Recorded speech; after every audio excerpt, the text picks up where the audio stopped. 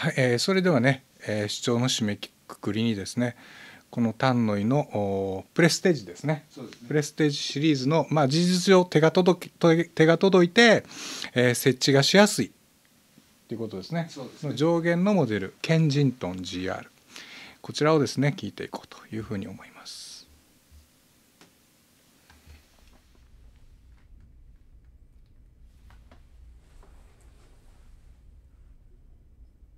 The ring is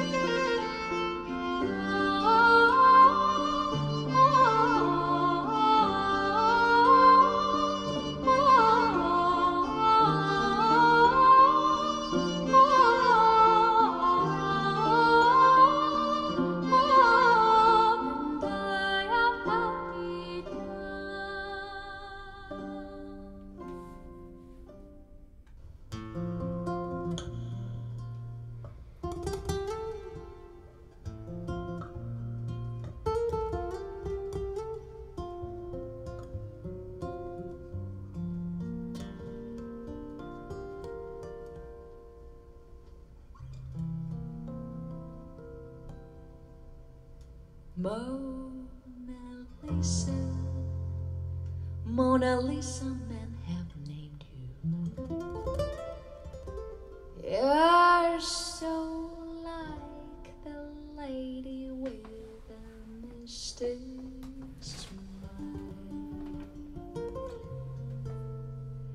Is it only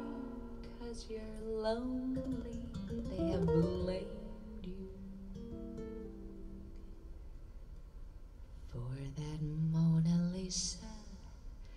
strangeness in her smile.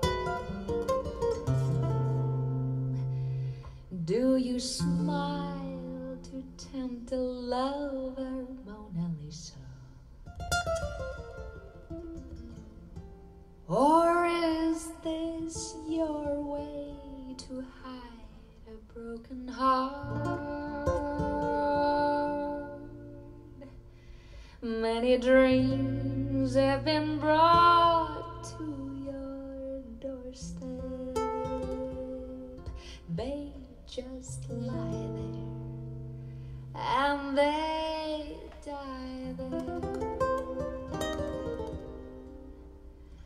Are you warm? Are you real, Mona Lisa? Or just a cold? lonely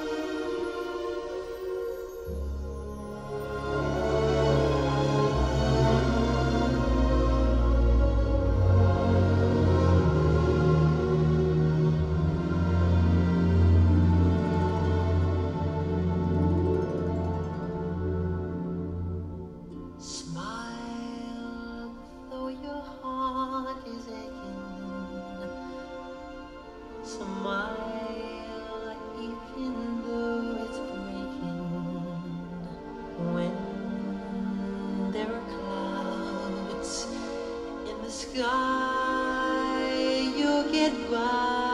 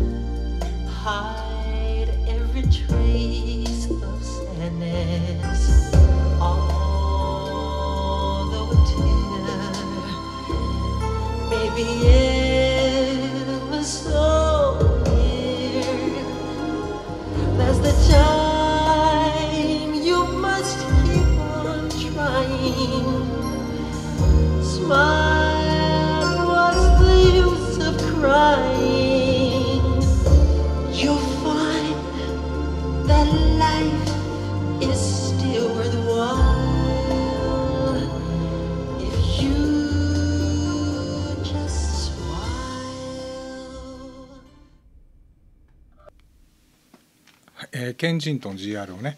えー聞いてみました。ではあの佐伯さんの感想からちょっとねお伺いしたいと思いま